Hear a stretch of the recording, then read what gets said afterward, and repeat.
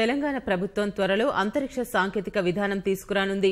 అన్ని అంతరిక్ష సంబంధిత ఉత్పత్తులు సేవలకు తెలంగాణను దేశీయ ప్రధాన కేంద్రంగా మార్చాలన్న లక్ష్యంతో ఆ విధానాన్ని తీర్చిదిద్దుతున్నారు.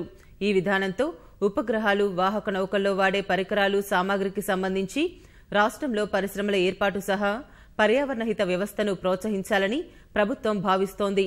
ఇప్పటికే ఈ రంగంలో ప్రతిష్టాత్మక సంస్థలతో పాటు పలు అంకురాలు కూడా ఉన్నాయి.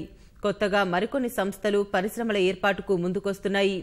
ఇటీవలే కేంద్రం అంతరిక్ష విధానాన్ని విడుదల చేయగా రాష్ట్రం రూపొందించబోయే విధానాన్ని దాన్ని కూడా ప్రామాణికంగా తీసుకోనున్నారు. ఆత్మనిర్భర్ భారత్ భారత్లో తయారీ వంటి కార్యక్రమాలకు అనుగుణంగా రాష్ట్రం పనిచేయనుంది. ఈ క్రమంలో నూతన అంతరిక్ష విధానం కోసం సంబంధిత రంగంలోని ప్రముఖులతో రాష్ట్ర ప్రభుత్వం నిన్న దృశ్య మాధ్యమ సమావేశం నిర్వహించింది.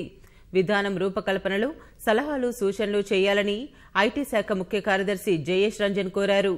రోదసి రంగంలో కూడా తెలంగాణ ముద్ర కనబడాలన్నది ముఖ్యమంత్రి కేసీఆర్ ఐటీ మంత్రి కేటీఆర్ అభిలాషగా జయేష్ వివరించారు.